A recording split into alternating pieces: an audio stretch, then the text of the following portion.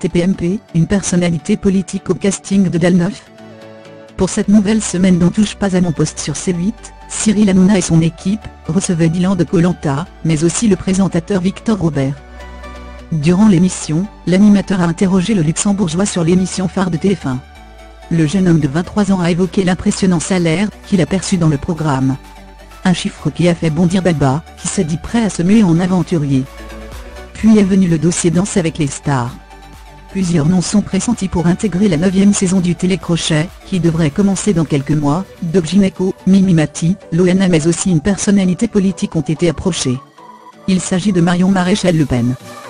L'ex-présentateur du Grand Journal sur Canal+, ne pense pas que la jeune femme intégrera l'émission. Iris Mittenheir, a elle aussi été contactée. Elle a été contactée pour Danse avec les stars mais dans Ninja Warrior, dont la saison 3 qui a été tournée, et qui sera diffusée cet été, elle a été tellement exceptionnelle, que le patron de TF1 pense peut-être à elle, pour l'animation de Danse avec les stars. D'autres noms devraient circuler dans les semaines à venir.